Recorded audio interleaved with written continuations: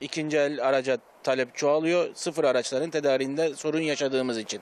Sıfır araç tedariği sıkıntısı nedeniyle alıcılar en çok ikinci el araç için el sıkışıyor. Hayırlı olsun abiciğim.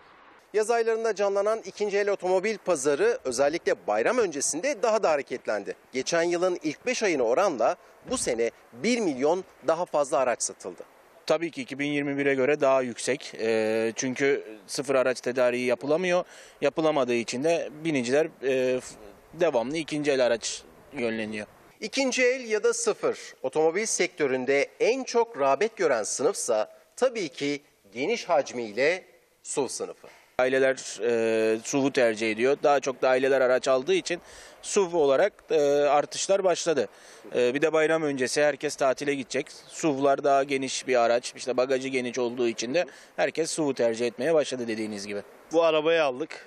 Arkadaşlar, e, dostlar bayramda yolculuk yapacaklar. Tavsiyemiz yavaş gitsinler, kemerlerini taksınlar.